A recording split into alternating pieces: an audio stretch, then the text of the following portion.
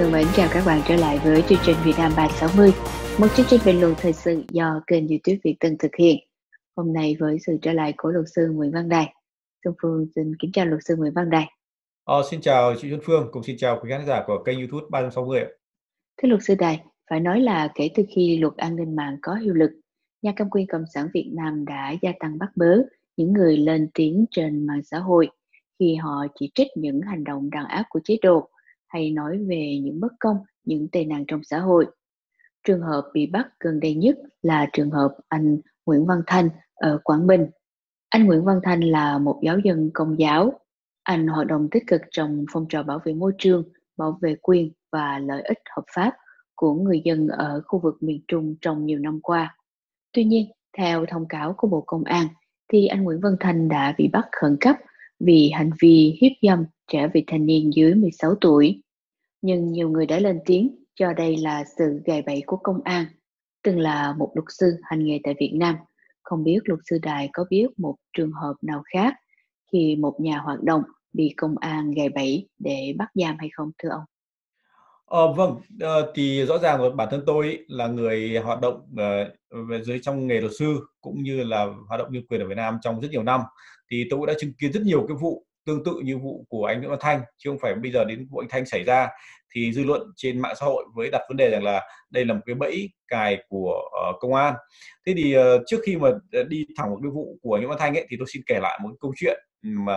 vào năm 2015 à, lúc đó thì tôi chưa bắt và cái người bị uh, bị cài bẫy ở đây ấy, là anh Lê Văn Đại. Anh ấy cũng là một thành viên của hội các dân chủ. Anh ấy làm việc tại uh, tỉnh Thái Bình. Thì anh hoạt động trong phong trào dân oan rất là tích cực uh, và có rất là có ảnh hưởng đối với những người dân oan ở Thái Bình và cũng là một thành viên tích cực của hội anh em dân chủ vào cái thời điểm đó. Thì an ninh Thái Bình và an ninh Bộ Ngoan á, thì đã rất nhiều lần muốn là uh, tìm cách bắt đại nhưng mà họ không có thu thập được cái, những cái chứng cứ trực tiếp để có thể bắt được anh theo các cái tội danh về chính trị. Cho nên thì thì cũng vào cái đợt đó thì anh rời khỏi tỉnh đi vào thanh hóa để uh, có những câu chuyện làm ăn ở trong đó. Lúc đấy là vào ngày 1 tháng 9 năm 2015 thì trong khi mà anh đang liên hoan với một số đồng nghiệp cùng công ty thì anh nhận được một cú điện thoại của một người uh, nói là là bạn.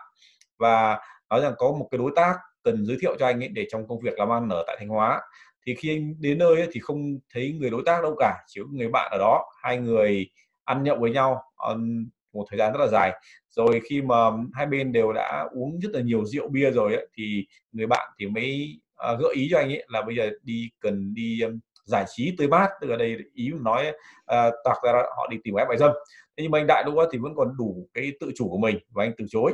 Thế thì người bạn kia thì mới lúc bây giờ mới nhấc điện thoại lên và gọi cho gọi là gọi cái người đối tác đến để giới thiệu với anh đại. Thì ba người tiếp tục ăn nhậu với nhau. Và khi mà um, đã người đối tác và cả ba người đều cũng đã ngà ngà say rồi thì người đối tác lại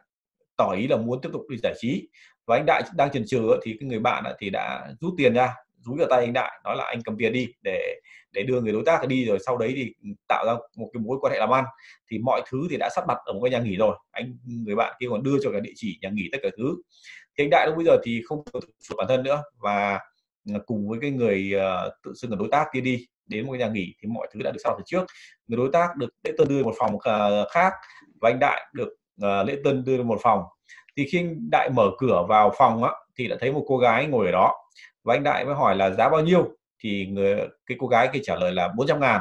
Và anh đại hỏi là có bao cao su không? Thì cô gái trả lời có. Anh đại bảo thì vậy thì thôi không có quan hệ. Và anh đi vào trong nhà vệ sinh để anh rửa rửa mặt. Khi anh vừa vào nhà vệ sinh xong thì an ninh thực ra họ đã phục kích từ bên ngoài rồi. Họ đạp cửa để vào bởi vì chắc chắn là họ đặt máy nghe trộm để nghe toàn bộ cái cái sự đối thoại hai bên. Và nghĩ là nếu anh đại rửa mặt xong anh sẽ đi ra ngoài và lúc bây giờ không có chuyện gì xảy ra thì họ không không làm gì được. Ngay lập tức là họ đưa cả hai người uh, về công an phường mặc dù anh đại hết ra sức phản đối là tôi đến đây tôi chưa có một bất kỳ hành động gì ngoài hỏi cô gái kia vấn đề đó. Thế nhưng mà sau khi kiểm tra giấy tờ hai bên thì phát hiện ra cô gái kia là ở tuổi vị thành niên tức là chưa đủ 18 tuổi thì theo luật Việt Nam á, khi mà cái hành vi mua dâm cái người mà trên đủ 18 tuổi trở lên ấy, thì không vấn đề gì cả nó chỉ vi phạm hành chính thôi. Nhưng mà nếu mà mua dâm người ở dưới 18 tuổi thì gọi là mua vì trẻ niên thì nó nó bị uh, chế tài bởi luật hình sự. Và ngay lập tức họ đã khởi tố anh anh anh Đại và ra lệnh bắt tạm giam uh, theo theo cái quy theo cái luật điều luật về về mua dâm trẻ em vị thành niên thì họ mặc dù anh đại vẫn ra sức phản đối nhưng mà thích này gì? Theo cái cái cái điều luật này á thì cái hành vi mua dâm á, nó đã cái tội phạm đã hoàn thành khi mà hai bên đã đã hỏi xong mặc cả xong về giá cả. Đấy không cần có hành vi giao cấu cũng không cần có hành vi đụng chạm vào thân thể thì coi như tội phạm hoàn thành. Và khi mà luật sư được vào á, thì đọc toàn bộ hồ sơ thì mới thấy rằng là đây là một cái quá trình dàn xếp nó có sự tính toán. Cái người bạn kia đã bị công an mua chuộc và họ đã dựng lên một câu chuyện cùng với cả người đối tác đối tác ừ, để giới thiệu làm ăn nữa đều là những người phía sau của an ninh. Thế thì sau một uh, ít tháng thì anh đại bị đưa tòa xét xử với 4 năm tù. Trong cái đó những cái người môi giới cái vụ mại dâm đó và người chủ chứa cái cô gái bán dâm kia vị niên vì theo luật Việt Nam á, những người môi giới mại dâm ờ, bất kỳ là lứa tuổi nào thì cũng bị là phạm tội môi giới mại dâm. Và cái người chứa gái mại dâm thì cũng bị à, là theo luật hình sự cũng bị phạm tội. Đặc biệt là cái tình tiết tăng nặng ở đây ấy, nếu là cái mại dâm dưới 18 tuổi thì là nó là một tình tiết tăng nặng định không hình phạt ở đây. Thế nhưng mà cuối cùng tất cả những người liên quan đó không hề bất kỳ một ai bị xử lý về hành chính cũng như hình hình sự mà chỉ duy nhất anh đại bị xử lý hình sự. Thì rõ ràng á đây là một cái âm mưu về về về về cái sự cài bẫy của cơ quan an ninh tỉnh Thanh Hóa. Trở lại với trường hợp của anh à, Nguyễn Văn Thanh thì không biết luật sư đài có thêm chi tiết gì về vụ này mà ông có thể chia sẻ với mọi người hay không? À, trước khi mà tôi lên diễn đàn này thì tôi cũng đã nhờ một người bạn hỏi chuyện là vợ anh Thanh về quan hệ vợ chồng ra làm sao rồi các cái vấn đề xung quanh như nào. Thì anh Thanh là một người rất là hiền lành mà không chỉ là vợ anh đánh giá mà cả cái giáo sư còn sẻ của mình đó họ đều đánh giá như vậy. Thì vợ anh có nói là ừ, thỉnh thoảng anh cũng có đi uống rượu với bạn bè nhưng mà khi về nhà uống rượu say ấy, thì anh về nhà anh ngủ thôi không có làm phiền vợ gì cả đó. Thì uh, thì là buổi trưa ngày mùng 10 tháng 10 ấy, thì anh anh Thanh nhận được một cái điện thoại nói là có người bạn à, mời đi ăn trưa để bàn về công việc làm ăn. À, rồi đến buổi chiều thì uh, gia đình buổi chiều tối không thấy mới về và mới đưa lên mạng xã hội thông báo nhiều tìm người. Ngày hôm sau thì công an gửi về cho cho nhà anh Thanh nói là đang bị uh, tạm giữ hình sự uh, theo uh, bắt khẩn cấp về cái tội danh uh, hiếp dâm trẻ em dưới 16 tuổi. Thì uh, bằng cái những cái gì mà tôi hiểu biết về hệ thống an ninh Việt Nam ấy, thì tôi có thể phân tích cái vụ án theo chiều hướng như này. Tức là khi anh Thanh đi đến nơi một cái người kia gọi thì thì đó là một cô gái rồi hai bên ngồi ăn uống với nhau. Thì uh, chắc chắn là trong cái lúc anh Thanh đi vệ sinh hoặc lúc không sơ xuất thì có thể là trực tiếp cô gái hoặc có thể một nhân viên an ninh uh, giả danh là lễ tân đã bỏ những cái chất kích thích vào trong đồ ăn hoặc là nước uống của anh Thanh với liều rất là nhẹ thôi đủ để anh Thanh có phát sinh nhu cầu về sinh lý ngoài cái sự kiểm soát của anh. Rồi sau đó thì cô gái gợi ý rằng là ăn xong thì sẽ đi karaoke. Và đương nhiên tại quán karaoke thì họ tiếp tục uống và à, lúc đó cũng có thể do sơ suất của anh Thanh hoặc là anh có nhu cầu đi vệ sinh rời khỏi cái phòng đó mà trực tiếp là cô gái đã được huấn luyện hoặc là một cái nhân viên an ninh đóng giả là lễ tân đã bỏ những liều thuốc kích thích rất là liều cao vào trong đồ ăn và thức uống của anh. Và kết quả cuối cùng thì khi mà anh có hành vi ngoài tầm kiểm soát của mình không còn kiểm soát được bản thân nữa thì an ninh đã chờ sẵn bên phục sát bên ngoài và ập vào một cách nhanh chóng. Thì rõ ràng không phải lúc nào tôi biết rằng là những cái những cái quán karaoke hay những gọi cái dịch vụ kinh doanh giải trí ở Việt Nam á thì bao giờ họ cũng có cái sự bảo kê của công an địa phương thậm chí là công an cấp tỉnh để uh, khi mà có những cái đợt kiểm tra liên liên ngành như công an văn hóa hay là ủy ban đó thì bao giờ họ không được báo trước là họ chuẩn bị uh, phòng ốc các thứ rất là đàng hoàng lịch sự để đảm bảo các cái tiêu chuẩn khi người ta đến kiểm tra. Tức là chủ quán bao giờ cũng có sự bảo kê. À, nếu như cô kiểm tra như vậy thì chắc chắn chủ quán sẽ biết và không bao giờ có hiện tượng là là là bị kiểm tra đột xuất kiểu thế mà chỉ nhằm vào một đối tượng là anh Nguyễn Thanh thì rõ ràng ở đây nhá nó là một cái sự dàn xếp ờ, mà chúng ta không cần phải không cần phải phải phải phải phải xem xét này nữa. Và chắc chắn là là như vậy. Và đấy thì tôi kể hai kể câu chuyện đầu và phân tích cái vụ án này của anh Thanh á để các anh em ở trong nước khi mà biết câu chuyện này thì mong rằng là không có người nào uh, có thể lại tiếp tục để cho an ninh cộng sản họ cài bẫy như vậy. Nếu là luật sư bào chữa cho anh Thanh thì luật sư Đài sẽ khuyên gia đình của anh Thanh làm gì để giải oan cho anh? Tất nhiên là chúng ta có nhiều cách để tìm ra chân tướng sự thật. Thứ nhất ý, thì uh, gia đình anh Thanh có thể nhờ bạn bè hoặc là trực tiếp đến gặp gỡ chủ quán karaoke đó để hỏi xem là chuyện gì đã xảy ra à, xung quanh cái cái cái cái cái việc đó. Cái thứ hai á, là phải tìm đến đích, đích thị cái cô gái đó. Uh, cái cô gái đó ừ, xem là như nào. Thì tôi dự đoán được là an ninh cộng sản họ cũng không bao giờ dám tuyển mộ một bé gái dưới 16 tuổi để thực hiện cho mục đích đó. Và cái ở đây chắc chắn là họ sẽ sửa giấy khai sinh. Họ sẽ à, làm giấy tờ giả cho cô gái này. Để là dưới 16 tuổi. Nhưng thực ra cô gái này ít nhất là phải đủ 18 tuổi trở lên rồi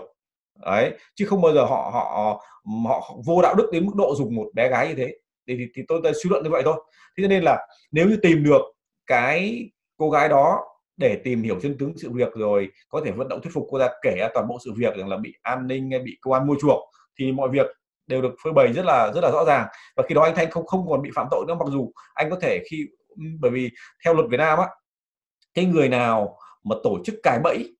cho người khác phạm tội thì uh, khi mà phát hiện ra thì chính những người cài bẫy đấy lại lại bị bị xử lý pháp luật theo theo cái tội danh đấy. Tức là ví dụ như công an uh, thị trấn Ba Đồn mà mà mà thực hiện cái hoặc là công an tỉnh Quảng Bình mà thực hiện cái cái cái, cái được giao cái nhiệm vụ đó mà sau này phát hiện ra thì từ ông giám đốc công an hoặc là trưởng công an thị trấn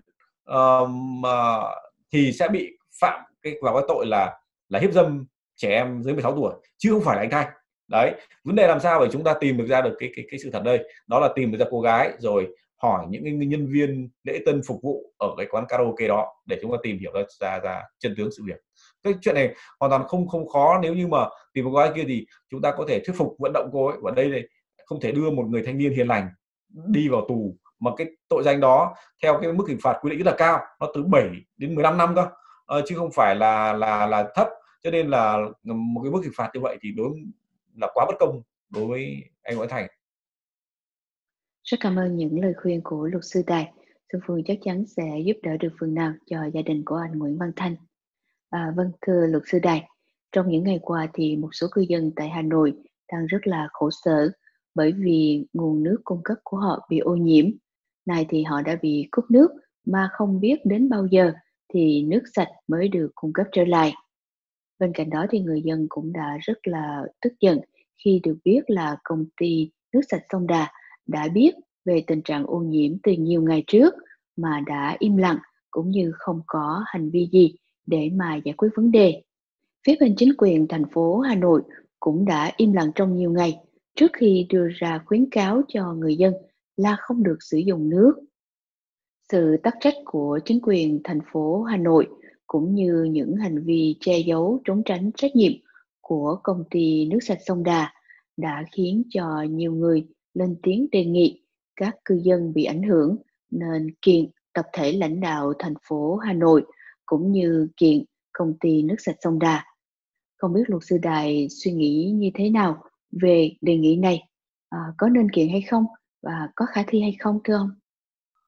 Ờ, vâng, ờ, thưa chị ờ, và Xuân Phương cùng quý khán giả thì rõ ràng rồi Ờ, một công ty anh bán một sản phẩm cho cho người tiêu dùng thì khi sản phẩm đó không đảm bảo chất lượng uh, gây nguy hại sức khỏe cho người tiêu dùng thì đương nhiên người tiêu dùng có quyền khởi kiện luật của Việt Nam hay luật bất kỳ một quốc gia nào trên thế giới đều có những quy định như vậy theo luật hình sự hay là luật thương mại ở Việt Nam. Thế thì uh, hiển nhiên là uh, cái cái việc mà cái nước nó có uh, chất độc hại trong đó hay là nhiễm bẩn đó thì nó xảy ra không phải là những ngày gần đây mà đã xảy ra trước đó hai ba tuần rồi. Và người dân đã nhiều lần kêu khiếu khiếu khiếu nại về cái nước nó có mùi đó thì lãnh đạo công ty sông Đà lúc đó vẫn uh, khẳng định trước báo giới là nước vẫn đảm bảo tiêu chuẩn. Cho đến khi mà người những những một số khu vực được cấp nước nó đã có xuất hiện những cái váng dầu rồi thậm chí là cạn dầu màu màu đen rất đặc biệt. Uh, thì lúc đó đưa lên báo chí thì họ không thể nào họ họ họ phủ trách nhiệm nữa và họ đã phải đưa đi xét nghiệm. Và kết quả cái cái mức độ chất siren thì nó cao gấp mà từ 1,5 đến 3 lần cái cái mức độ mà tiêu chuẩn cho phép. Thì uh, rõ ràng ở đây á, là cái sản phẩm mà anh đem bán cho người dân đã không đảm bảo chất lượng và đã được thực tế kiểm nghiệm. Thì người dân có thể tập hợp lại là xem bao nhiêu gia đình ừ, đã sử dụng cái nước uh, trong thời gian đó rồi ừ, cơ quan y tế phải xác định là nếu như dùng cái nước với mức độ như vậy thì họ sẽ ảnh hưởng đến cái sức khỏe của, của người dân nào. Và ta cần bao nhiêu thời gian để phục hồi sức khỏe cần phải chữa bệnh hay cần phải nghỉ ngơi như nào đó thì tất cả những cái thiệt hại về mặt um, À, có thể đo lường được về về về về số số liệu thì có thể bồi thường. Còn chưa kể những cái thiệt hại về mặt tinh thần cái nỗi tạo ra cái nỗi lo sợ cho người dân nữa. Thì ở đây á cái công ty nước sông Đà là có thể uh, ủy ban thành phố Nội là cái cơ quan bên trên đó họ phải chịu trách nhiệm để bồi thường cho người dân kể cả hai khía cạnh đó. Vì cái công ty cấp nước sạch này nó không nó không phải là cấp cho ít người dân mà ước tính ở khu vực phía tây nam Hà Nội ấy, là khoảng 300.000 hộ dân với dân số khoảng trên một triệu người. Chưa kể một số cái uh, thị xã mà nó đi qua như thị xã Sơn Tây hay thị xã Xuân Mai hay một số thị trấn khác của của một số huyện ở ở trên cái đường đi mà của cái công ty cấp nước này nó nó đi qua nữa. Cho nên cái số lượng người mà bị ảnh hưởng ở đây rất là lớn ít nhất là trên một triệu người với các vụ ô nhiễm không khí ô nhiễm nguồn nước liên tục nổi lên trong thời gian gần đây. Thì không biết luật sư Đài có nhận định như thế nào về tình trạng ô nhiễm môi trường tại Việt Nam? Ờ, thì ở đây á, thì ờ, sau khi mà cái cái sự cố nước bẩn của công ty cấp nước sông Đà xảy ra thì họ phát hiện rằng là là cái nước nó bị ô nhiễm ngay từ nước nguồn nước đầu vào. Tức là khi nước trên đường dẫn từ sông vào thì uh, bị người ta đổ những cái chất dầu thải vào đó thế thì uh, theo tôi biết cho dù cái nước nguồn đầu vào như thế nào chăng nữa thì trải qua một quá trình xử lý nếu nghiêm túc thì nó vẫn loại bỏ phần gần như là tuyệt đối những cái chất bẩn ra bên ngoài chứ không thể nào ờ, mà đến người tiêu dùng rồi vẫn bị mùi váng dầu thậm chí đen kịt ở đó. Thì đây nó bộc lộ ra một cái cái cái cái cái, cái, cái quy trình xử lý nước ở đây là là không tốt. Anh gần như là rất yếu trong vấn đề xử lý. Bởi khi một cái nước anh bơm từ cái ờ, nước thô vào nó phải trải qua một quá trình lắng lọc uh, rồi mới xong quá trình lọc rồi đến quá trình xử lý hóa chất. Thì trải qua mỗi quá trình ấy, đều có những những cái khâu kiểm tra kiểm nghiệm. Chứ không phải là uh, anh làm xong sản phẩm là anh tự bán ra thị trường không không qua kiểm nghiệm. Thì rõ ràng ở đây ấy, thì công ty cấp nước sông Đà họ đã bỏ qua tất cả những cái cái, cái, cái, cái quy trình kiểm nghiệm nước trước khi đưa ra bán cho người dân. Cho biết rằng là luật Việt Nam hay luật nước nào trên giới vậy thôi. Ờ, anh bán bất kỳ một sản phẩm gì, cho dù là thịt, cho dù là rau hay cho dù là nước, thì trước khi anh đưa ra sản phẩm cho người tiêu dùng, anh đều phải kiểm nghiệm trong ngày hôm đó, xem chất lượng có bị đảm bảo hay không, có bị nhiễm độc hay có gì hay không, để cho người dân, bởi vì à, người ta không thể đảm bảo cái nguồn cung 100% là lúc nào ổn định cho nên có những lúc nguồn cung đầu vào ờ, nó nó bị ô nhiễm chất độc hay ô nhiễm gì đó, mà cụ thể đây là ô nhiễm dầu bẩn thì anh anh phải kiểm tra chứ không thể nói là anh ở ngày hôm qua tôi kiểm tra ok không vấn đề gì cả thì cả một tháng sau anh không cần phải kiểm tra. Ừ, cái điều đấy là cái sự tắc trách và vô trách nhiệm của họ ở đây. Thế cho nên là chúng ta có thấy là ờ, cái cái cái cái vấn đề nó nằm ở cái cái sự vô trách nhiệm của của cái, những cái người mà họ bán làm ra sản phẩm và bán cho người dân. Thế còn quay đến vấn đề ô nhiễm môi trường vậy thôi. À, cái vấn đề ô nhiễm môi trường không phải một sớm một chiều mà nó nó xảy ra nó phải trải qua một quá trình tích tụ rất là lâu dài à, có thể do vấn đề than người dân đốt than tổ ong để à, sử dụng cho mục đích uh, sinh hoạt hàng ngày có thể do vấn đề xe máy uh, xe ô tô xả thải hay là các cái nhà máy. Thì về mặt nguyên tắc các cái cơ quan bảo vệ môi trường của Việt Nam ấy họ phải có con số thống kê phải có đo lường chất lượng không khí để xem là ngày hôm tháng ngày hôm qua và ngày hôm nay nó chênh nhau như nào hay là tháng trước năm trước với năm sau nó như nào. Đấy là đấy là trách nhiệm của họ. Nhưng mà qua cái việc mà đột ngột khi mà các cái chỉ số ờ, ở trên cái ứng dụng ờ, uh, Evian họ, họ họ họ đưa ra thì gây sốc cho toàn thể những người dân ở, ở Hà Nội như Sài Gòn. Điều đấy là không thể chấp nhận được đối với trách nhiệm của những người quan. Thì như tôi đã nhiều lần chia sẻ đó những quan chức cộng sản á họ khi mà họ có được chức vụ quyền hạn trong tay ấy, thì ít khi mà họ nghĩ làm sao để trong cái nhiệm kỳ của họ họ có thể phục vụ đất nước phục vụ người dân một cách tốt nhất mà họ chỉ luôn luôn trong đầu họ tính toán làm sao có thể thu hoạch được có thể kiếm trác được nhiều tiền nhất cho bản thân họ và gia đình. Ờ, gần đến tuổi nghỉ hưu thì kiếm trác và hạ cánh an toàn. Trẻ còn trẻ tuổi thì có thể ờ, tính toán làm sao có thể leo lên cao hoặc duy trì thêm một nhiệm kỳ nữa. Đó là những cái suy nghĩ thường ngày của, của những người quan chức cộng sản chứ không phải là họ suy nghĩ làm sao để làm tốt cho người dân. Liên quan đến vụ công ty nước sạch sông Đà cung cấp nước bẩn thì báo VN Economy vào ngày 16 tháng 10 vừa qua đã đăng một bài viết mang tựa đề Bí ẩn nhóm đại gia sở hữu công ty nước sạch sông Đà. Nội dung bài viết cho biết gia đình của Tổng Giám đốc kiêm Chủ tịch Hội đồng Quản trị Tổng công ty Thiết bị điện Việt Nam Jelex, ông Nguyễn Văn Tuấn. Bài viết này còn mô tả quá trình Tổng công ty Jelex thu mua cổ phần của công ty nước sạch sông Đà và đặt câu hỏi tại sao công ty này đã có nhiều vụ bê bối về chất lượng nước và hạ tầng công trình mà vẫn được cho cấp nước cho hơn một triệu cư dân Hà Nội và lợi nhuận hàng năm lên đến hàng trăm tỷ đồng. Luật sư Đài có nghĩ rằng việc khui ra chủ nhân của công ty nước sạch sông Đà là một đòn đánh nhau giữa các phe nhóm trong Đảng Cộng sản Việt Nam hay không khi mà sắp đến Đại hội Đảng thứ 13? Ờ, tôi tôi suy luận chắc chắn là có thưa chị Vân Phương bởi vì ờ, chúng ta biết rồi cái cái ờ, cái công ty cấp nước sông Đà này á trước đây nó thuộc tổng công ty Vinaconex và nó là thuộc công ty sở hữu nước. Thì thì cũng không biết từ khi nào họ lại chuyển bản bà bán toàn bộ cái cổ phần cho tư nhân. Thì đến bây giờ đến ngày hôm nay sau khi xảy ra sự cố thì cái tờ Economic Times ấy, họ họ họ mới khui ra là đã đã chuyển thành tư nhân hoàn toàn 100% rồi. Và đây đều là các cái các cái đại gia. Thì chúng ta biết rằng là những, những người bình thường ấy không thể nào mua được cổ phần của một cái công ty kiếm tiền dễ như công ty cấp nước sông Đà. Họ hút nước ở ở sông lên trải qua một quá trình xử lý rất là rất là thô thô sơ và họ bán nước đấy cho người dân. Cái lợi nhuận theo họ tính toán đó là đến hàng vài ba trăm tỷ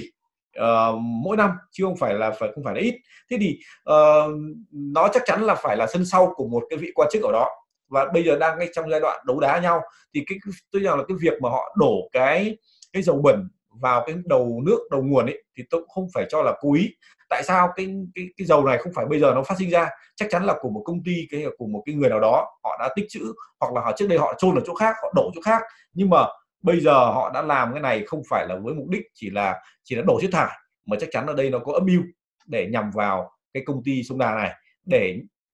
để để nhằm uh, ám hại một cái người nào đó là đứng bảo kê hay là bảo trợ cho công ty sông đà này thì cho đây là ờ, đối với cộng sản Việt Nam thì tất cả mọi chuyện đều có thể ra mà gần như là chắc chắn. Cho nên là uh, sắp tới thì họ bắt đầu chuẩn bị bước vào cái cái kỳ đại hội đảng bộ các cái cấp thấp rồi ở từ cấp xã phường quận huyện cho đến thành phố. Cho nên đây là trong cái giai đoạn cuộc đua này á, thì chắc chắn nó còn rất nhiều chuyện xảy ra chứ không chỉ là đơn giản là cái chuyện nước sạch.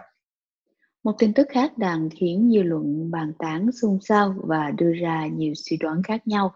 đó là tin tức Thứ trưởng Bộ Giáo dục và Đào tạo Lê Hải An vừa tử vong do té từ lầu 8 của tòa nhà trụ sở nơi ông ta làm việc. Cái chết của ông Lê Hải An đã gây ra nhiều nghi vấn bởi vì vào tháng 2 vừa qua, ông An đã lấy chức bí thư đảng ủy Bộ Giáo dục từ tay của đương kim Bộ trưởng Bộ Giáo dục Phùng Xuân Nha. Với truyền thống cơ cấu đảng trước rồi sắp xếp nhân sự nhà nước sau, thì đây là chỉ dấu cho thấy đến Đại hội đảng 13, ông Lê Hải An có nhiều khả năng sẽ là người thay thế ông Phùng Xuân Nhạ ngồi vào chiếc ghế Bộ trưởng Bộ Giáo dục. Xin nhà luật sư Đài giải thích rõ hơn về quy tắc sắp xếp nhân sự trong guồng máy cầm quyền Cộng sản Việt Nam cũng như về những thăng tiến của ông Lê Hải An.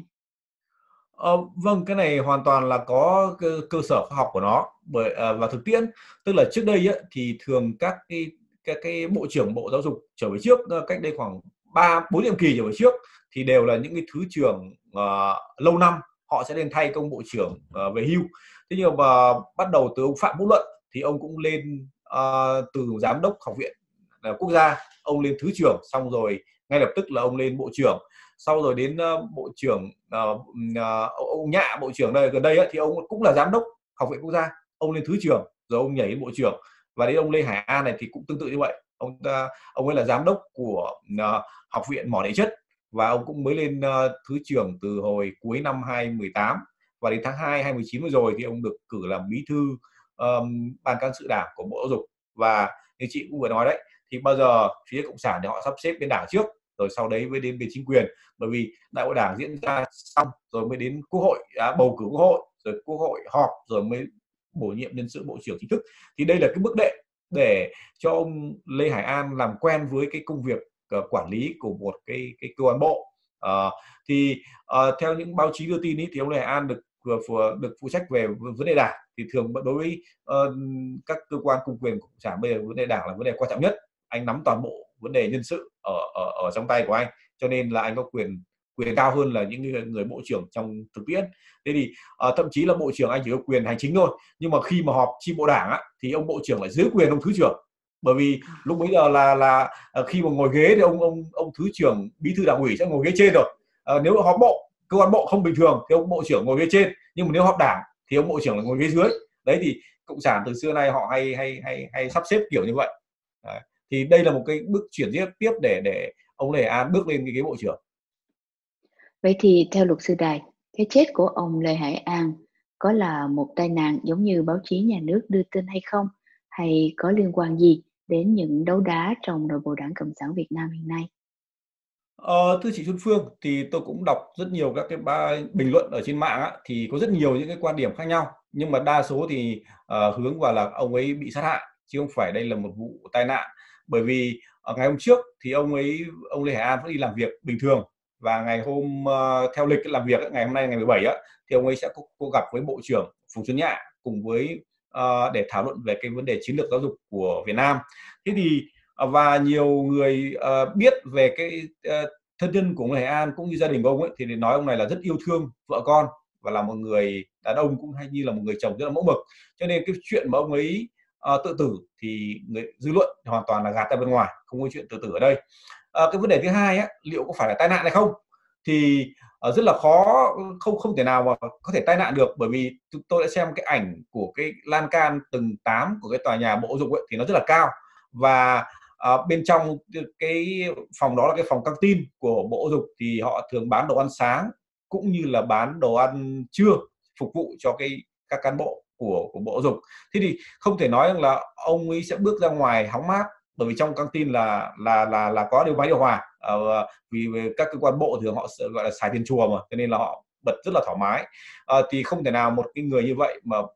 bước ra hành lang để mà trượt chân ngã xuống dưới được mà ông ta là một người con người to béo. Nghe nói có nhiều người nói nặng 82 kg mà thì không thể nào dại dột để mà trèo qua cái lan can như vậy.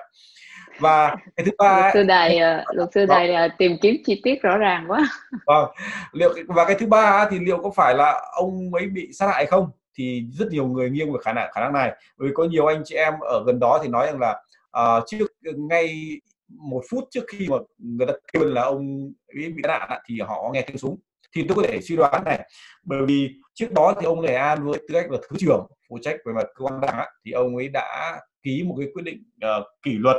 là vào ngày 21 tháng 8 là khoảng 13 cán bộ cấp cục vụ của Bộ Giáo dục liên quan đến vụ gian lận thi cử Hà Giang, Hòa Bình cũng như một số nơi khác.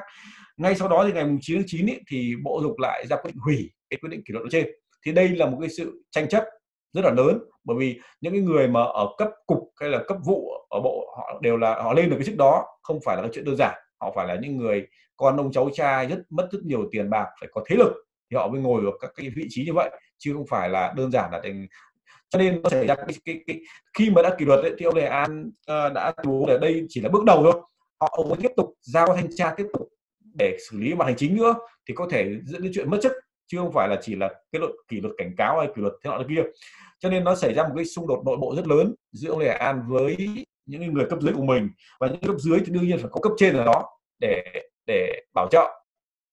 thế thì uh, tôi rằng là tôi suy đoán rằng là vào cái buổi sáng ngày hôm nay 17 tháng tháng 10 đó khi mà ông Lê Hải An đến uh, cơ quan sớm vào lúc 7 giờ sáng thì ông ấy có ý định lên trên căng tin để ăn sáng trước khi xuống phòng làm việc. Thì những cái người đối thủ của ông ấy biết được cái thói quen của ông đó và họ đã lên chờ ông đó. Hai bên có thể um, xảy ra xô xát mâu thuẫn và chắc chắn là một trong số đó họ có súng họ sẽ rút súng dọa ông. Ờ, uh, dọa ông là sẽ bắn ông. Uh, ông Hải An. Ông Hải An thì chắc chắn rất là sợ và ông người ta dồn ông đấy ra đến ngoài cái lan can thì vì ông ta sợ bắn ông ta đẩy trở lan can. Và khi tiếng súng nổ thì chắc chắn là có thể kèm theo một động tác đẩy hoặc là do tiếng súng nổ mà ông ta giật mình và buông tay rơi xuống. Nên họ cố tình tạo ra một vụ tai nạn ngẫu nhiên. Nhưng mà trước đó chắc chắn là phải có hành vi cố tình đẩy ông ta vào chết đấy thì theo tôi, tôi dự đoán logic như vậy. Thì bây giờ theo thông tin được biết là công an quận Hai Bà Trưng là cái cái quận trực tiếp ở đó cùng với quan thành phố Hà Nội thì uh, sau 3 4 tiếng thì họ xét nghiệm tử thi rồi khám nghiệm hiện trường tất cả các thứ đó. Thì đến giờ phút này thì cũng chưa thấy cơ quan truyền thông của cộng sản đưa tin về cái kết luận ban đầu của cơ điều tra xem là đây là một vụ uh, tai nạn bình thường hay là một cái vụ tự tử hay là một vụ sát hại. Thì chúng ta đợi ngày tới xem là cơ quan công an họ sẽ đưa vấn đề này ra nào. Bởi tôi nghĩ ông Lê Hải An lên đến chức này thì bản thân ông ta cũng không cũng phải có những thế lực ờ, nâng đỡ mình chứ không bằng không thể là ờ, ở Việt Nam thì không có chuyện anh tài năng là một chuyện anh đạo đức là một chuyện nhưng nếu không có những người nâng đỡ cho anh thì anh cũng không thể nào leo cao được uh, từ một người rất là trẻ ông ấy năm nay sinh năm 71 kém một tuổi năm nay 48 tuổi thôi mà đã ngồi cái ghế giám đốc học viện uh, mỏ địa chất rất nhiều năm rồi. Uh, trước khi mà lên thứ trưởng mà lên thứ trưởng một cái lại phụ trách ngay cái cái chức bí thư đảng bộ của bộ dục. Thì uh, ông ta chắc chắn là phải có một một cái thế lực nâng đỡ chứ thì bây giờ chúng ta xem cái cuộc đua cuộc đấu ra thế lực ở như thế nào. Uh, thế lực của ông uh, ông Lê Hải An sẽ thắng hay là thế lực của ông Phùng Xuân Nhạ sẽ thắng ở đây? Luật sư đại có biết hay là có suy đoán là ông Lê Hải An thuộc phe nhóm nào hay không? Ờ, tôi, tôi, tôi chưa có thời gian để có thể nghiên cứu hay là biết được đọc những thông tin về về phe của ông ấy cái hoặc là cái điều này chưa biết chưa biết ạ. Vậy thì uh, mình chờ thêm, có lẽ trong thời gian tới sẽ có thêm nhiều chi tiết được tiết lộ. Vâng, Sư Phương uh, cảm ơn luật sư Đài đã dành thời gian cho chương trình Việt Nam 360 để chia sẻ những quan điểm của ông. Và xin kính chào tạm biệt, xin hẹn gặp lại ông trong chương trình lần tới. Vâng, xin chào chị Phương, cùng xin chào quý khán giả của kênh YouTube 360. Sư Phương cũng cảm ơn các bạn đã theo dõi chương trình của chúng tôi và rất mong nhận được nhiều góp ý của các bạn cho chương trình. Xuân Phương cũng xin nhờ các bạn hãy chuyển chương trình đến cho nhiều người cùng xem. Và nếu các bạn chưa ghi danh với kênh YouTube Việt Tân thì đừng quên ghi danh. Xuân Phương thân mến chào tạm biệt và hẹn gặp lại các bạn trong những chương trình lần tới.